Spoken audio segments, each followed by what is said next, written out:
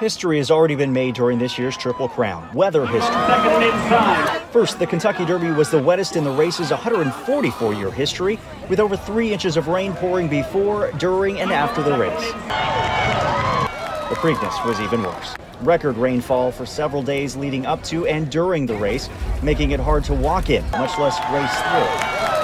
But Justify shined through it all, winning both races and earning his shot to make racing history as the 13th Triple Crown winner. He's already made believers of some of the best jockeys ever. The weather doesn't really matter with uh, Justify. Like, what if he's even better when it, the weather's nice? But Belmont itself is almost a force of nature.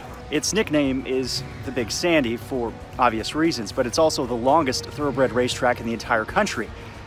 This surface is tough to run on, but it does handle moisture well. Rain or Shine Justify is still the favorite to be the newest champion made here. For AccuWeather, I'm Jonathan Petramala.